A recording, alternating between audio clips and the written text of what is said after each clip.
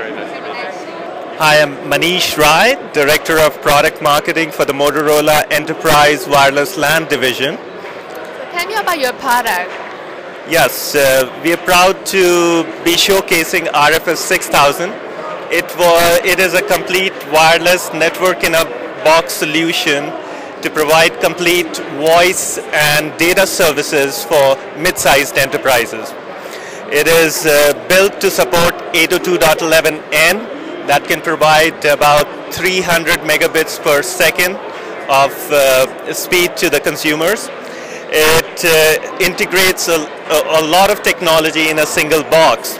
For example, it comes with uh, eight built-in high power ports to provide power over Ethernet for 802.11n access points. It has one of the unique features. It has a PCI Express slot where you can plug in a high-speed cellular card such as HSDPA EV-DO to provide you redundant wireless WAN backhaul.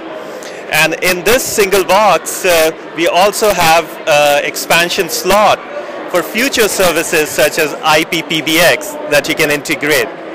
One of the unique things is uh, beyond the hardware expansion capability, we pack a lot, lot of software in, in addition to providing Wi-Fi coverage, this uh, box can also manage RFID readers uh, from this single box. So we call that technology RF abstraction.